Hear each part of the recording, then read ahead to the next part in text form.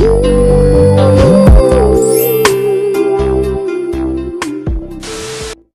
me close by your side, baby. Never let me go through the night as I open my eyes, baby. Kiss me from my nose down to my everyone! Welcome back to my channel. I am Julia Bondos. Today, magkakaroon tayo ng tutorial, guitar tutorial, kung paano ko tinutugtog yung kantang Kiss by Thyro and Yumi. Thank you sa mga nag-request nitong tutorial na to. Thank you very much sa lahat ng mga nag-comment. Simula kasi last week, ang dami nang nagko-comment. Hindi ko alam kung bakit. Siguro, kasi matagal ko na siyang in-upload. Hewan ko, siguro talagang uh, nagustuhan nyo lang din. Maganda naman talaga kasi yung song. Basic na basic lang yung chords na to, guys. Nakita ko lang din siya somewhere sa internet. So, yeah. So, I'm gonna show you how I play it. Hindi ko sure kung ito talaga yung chords niya. Pero it worked for me. So, I'm going to share it with you guys. So, first things first, nilalagyan ko siya ng kapo dito sa 5th fret. So, dito. Ang first chord na gagamitin is G. 6th string, 3rd fret. 5th string, 2nd fret. 2nd string, 3rd fret.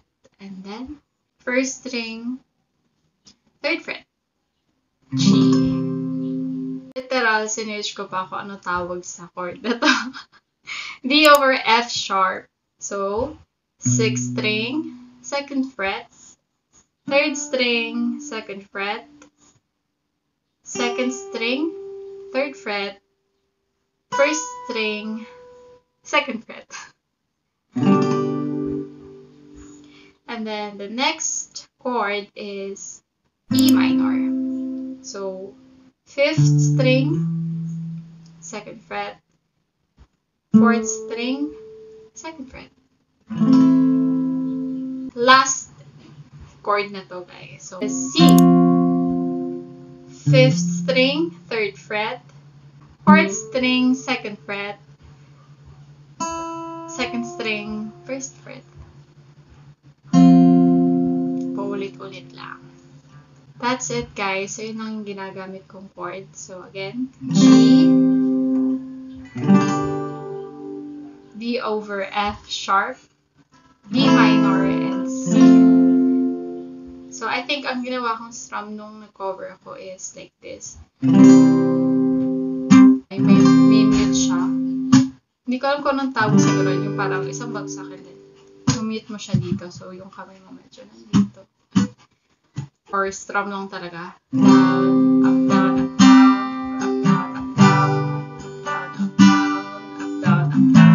Up, down, up, down, up, down, up, down, up, down, up, down, up, down, down, up. Ulit-ulit lang. Baba, what you wanna? So, gawin natin, um, first stanza is yung may mute siya gamit yung palm. So, Baby, it's so late.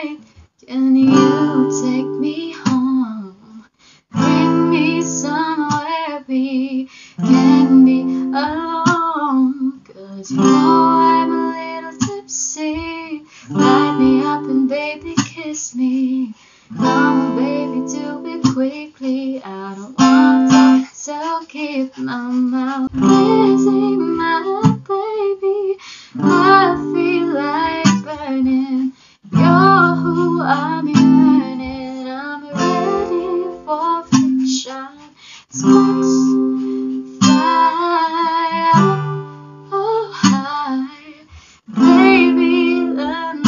Mm, na, na, na, na. Hindi ko alam lyrics. Nakalimutan ko. Anyway, so sa chorus, pwede nyo na siyang i-strum talaga like yung ginawa natin kanina. Hold me close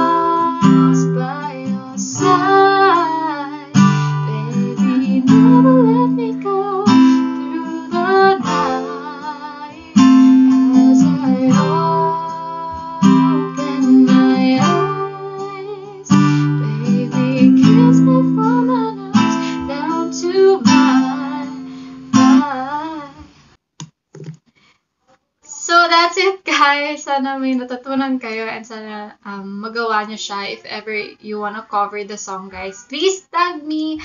Um, I wanna hear it, guys.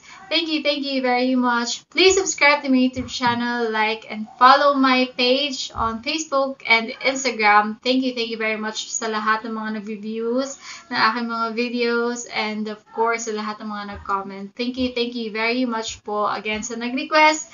Thank you very much. Gusto ko na rin i-mention yung new song ko, Lapit sa Akin, guys. Please, um, pakinggan nyo. Thank you, thank you very much. See you soon! Paano mo masasabi